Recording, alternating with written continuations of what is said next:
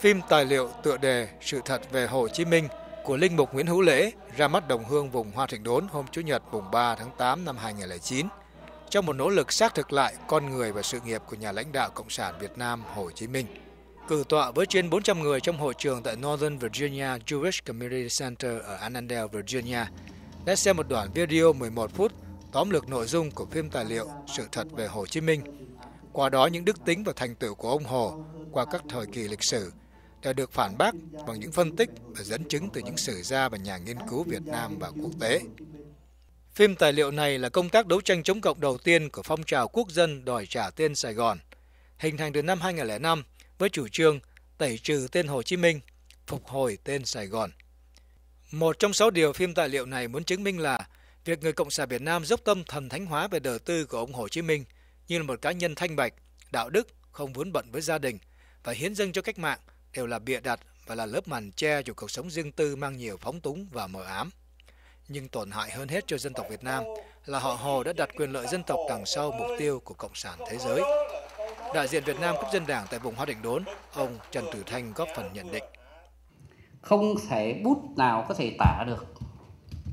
cái sự gian trá và man dợ của cái chế độ cộng sản mà do chính ông ta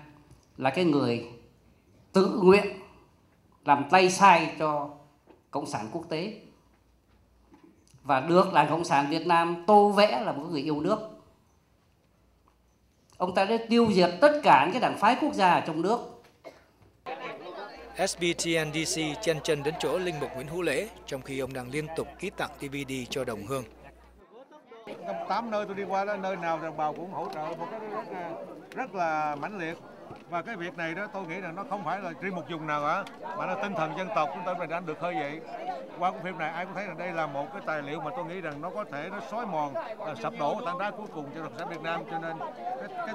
cái tinh thần đồng bào rất là cao. Mặc dù phí tổn thực hiện cuốn phim lên đến 200.000 đô la và hoàn toàn do Linh Mục Lễ mượn tiền tài trợ,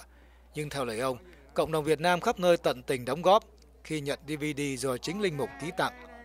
Ờ, mong muốn để cho bà con Việt Nam, nhất là giới trẻ hiểu được thế nào cái sự thật của thằng Hồ Chí Minh. Tôi kêu bằng thằng bây giờ tôi quá là bức ức. Tôi là tôi đến xin cái quan này để về cho thứ nhất là cho bản thân tôi và cho gia đình hiểu bằng cái sự thật của thằng Hồ Chí Minh và cho bà con đồng hương mọi người chúng ta sẽ in được 10 cuốn để đưa cho 10 người khác in được 100 cuốn và từ đó nó chuyển dần lan rộng như ghế dầu loan. Mùa thu năm 2003, Linh Mục Nguyễn Hữu Lễ ra mắt bút ký Tôi phải sống tại vùng Hoa Tịnh Đốn, kể lại kinh nghiệm đầy máu và nước mắt trong lao tù cộng sản từ năm 1976 đến năm 1988. Người ta biết nhiều đến vị linh mục nặng tình với quê hương và dân tộc này qua câu nói Trước khi làm linh mục, tôi là một người Việt Nam.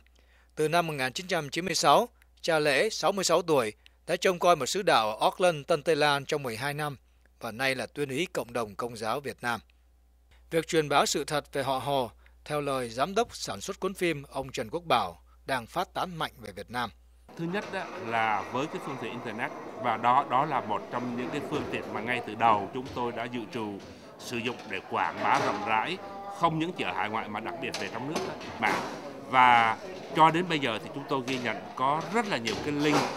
Dĩ nhiên cộng sản việt nam sẽ tìm cách để ngăn chặn nhưng mà có hai cái sự kiện thứ nhất là có rất là nhiều cái à, website đã phổ biến cái phim này có rất là nhiều cái link vì vậy cho nên cộng sản việt nam sẽ không thể nào ngăn chặn được tất cả là mặc dù cộng sản việt nam sẽ tìm mọi cách để ngăn chặn nhưng mà những hình ảnh nội dung của cuốn phim này không sớm thì muộn không nhiều thì ít đã được loan truyền ở trong nước và sẽ được loan truyền mạnh mẽ ở trong nước. Nguyễn Tự Tiến, tường thuật từ Annandale, Virginia.